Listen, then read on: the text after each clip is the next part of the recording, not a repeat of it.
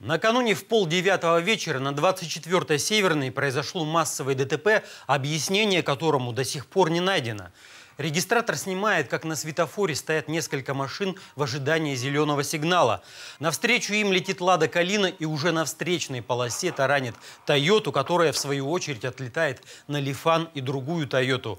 В аварии пострадали три человека. На месте работали врачи скорой помощи и сотрудники МЧС.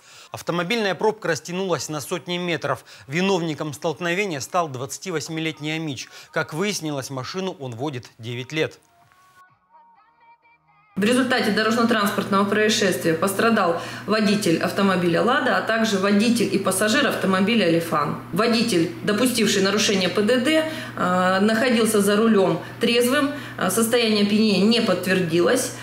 Как пишут пользователи соцсетей на вопрос сотрудников ГИБДД, как произошло ДТП, водитель Калины ответил «Извините, с кем не бывает, дорога мокрая». Кстати, на месте аварии асфальт новый и луж вокруг не наблюдалось. Если виновник ДТП в трезвом уме совершает такие грубые нарушения, угрожая жизни других людей, то для всех будет лучше такого камикадзе лишить прав, хотя современное законодательство не позволит этого сделать. Я, мне кажется,